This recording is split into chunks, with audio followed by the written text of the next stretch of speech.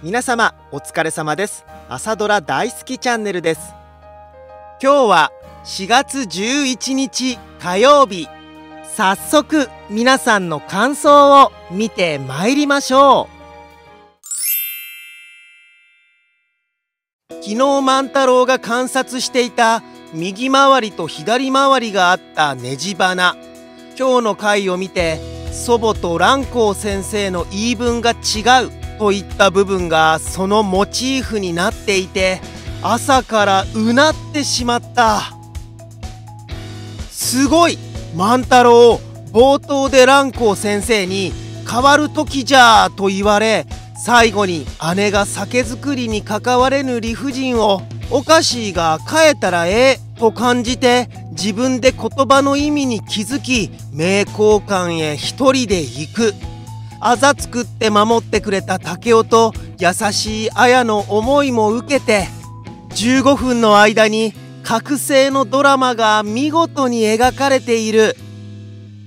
絶対だと思っていた祖母の在り方に疑問を持って前に踏み出すのは酒造りをしたいという姉の思いを受けてなんだよね。滝は万太郎に箔をつけるために名交換に行かせようとしているけれどそこでの新たな出会いがしきたりに縛られた現状の疑問へつながるという皮肉これ女子だから帳面を見るなではなくてやがて誰かに嫁いで家の外に出てしまうのだから綾は帳面を見るなということなんでしょうね。家制度と家業がいやおうなく絡み合っていた時代。私たちとは違う形で少なくない苦労があったのよくわかる。万太郎は学問が嫌いなわけではないのね。変わることの大切さを説く先生と変わらないことを諭す祖母。正反対のことを言われて何も考えず受け入れるのではなく自分の中でぐるぐると考えて考えて一生懸命に理解しようとしている。それは学問の第一歩よ。蘭光先生はわざと水かけてるよね。過保護にされてる万太郎と過保護にしてる滝や竹雄に目を覚ませよって。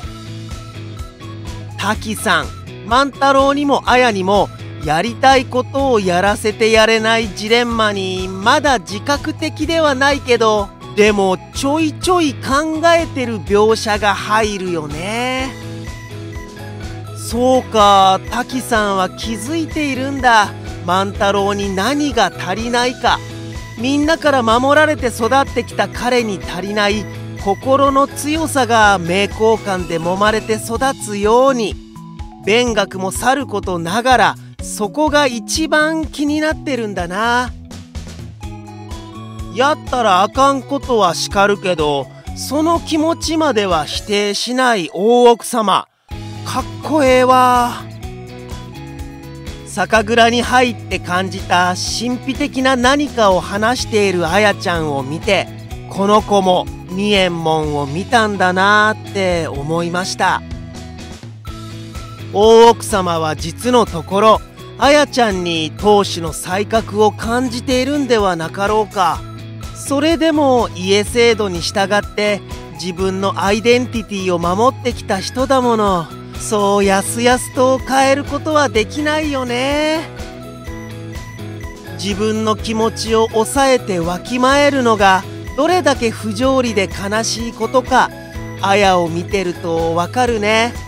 そして万太郎にもまだ自覚してないだけで綾と同様の性別役割的圧力はあるどちらもその枠にうまくはまれない兄弟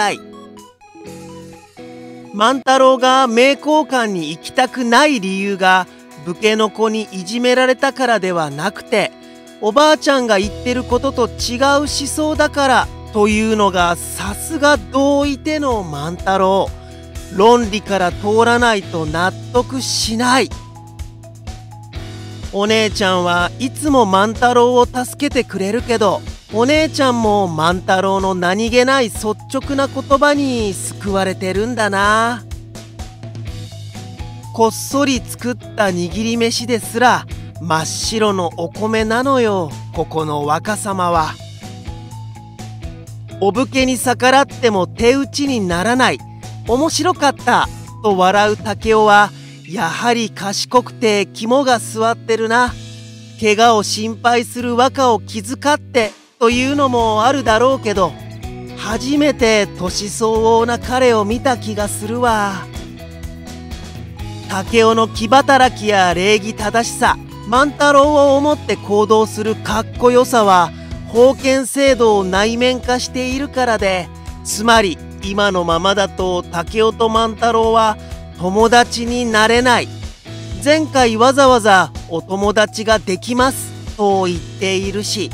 万太郎と竹雄は友達になれるのか？というのもこのドラマの核の一つかもしれない。万太郎は竹雄が自分の代わりに撃たれてしまったことも辛かったんだと思う。竹を置いて自分の足で歩き出す万太郎を心から応援したくなったよ。そんなの変えたらええと姉に言う万太郎がしきたりにとらわれんと今こそ変わる時と言った池田先生を思い出しハッとしてた。無意識のうちに町民を受け入れた名教官の柔軟さに影響を受けていて学問よりも前に大切な何かを教わってるようなここに通う意味を感じた。この時代の子供たちは第二次世界大戦後まで生きるのかと思うと世の中変わりすぎだよな。それまで300年近く変化が少ない時代だったのにこの作品のいいところ主人公たちの因習を踏み越えて自分の心のまま生きるという経緯を視聴者に共感を与えつつ丁寧に描くというのも好感が持てるけどそれを見せるために当時の空気や日常生活の細かい様子酒造りの作法と身分格差などなど大河ドラマ並みに手間とお金をかけてるの。素晴らしい。